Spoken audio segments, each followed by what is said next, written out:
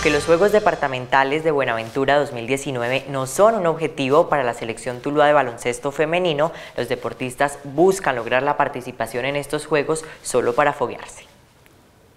El monitor Javier Caicedo entregó un balance de lo que fue el proceso del baloncesto femenino en este año. Eh, el proceso fue un poquito eh, chévere porque fueron niños que apenas están empezando a practicar baloncesto. Empezamos con un grupo aproximadamente de 90 niños eh, aquí en la escuela, en el colegio Julián Restrepo y en diferentes colegios, eh, Colegio de Occidente, La Graciela, donde manifestamos pues el deseo del INDER eh, llevar el baloncesto.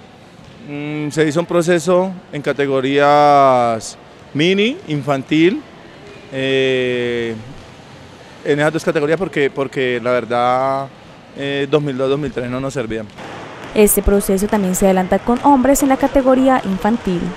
Sí, tenemos un grupo bastante grande, eh, categoría 2009, o sea, niñas de 6, 7, 8, 9 y 10 años, y en hombres también en categorías 9, 10, 11 añitos, dándoles el proceso de formación y luego invitándolos a que participen con la selección Tuluá eh, en el Coliseo Benicio Echeverry. Con el objetivo de foguearse, el equipo buscará clasificar a las justas departamentales de Buenaventura. Bueno, ahorita tenemos las competencias de juegos departamentales. Realmente pues no tenemos un equipo muy competitivo porque pues son niñas que empezaron en febrero a hacer un proceso de, iniciación. Entonces pues no llevamos un equipo porque pues son 2004-2005. Juegos departamentales serían 2002-2003. Entonces siempre hay una ventajita de dos años ahí sobre esas niñas. De todas maneras pues vamos a hacer el esfuerzo de clasificar.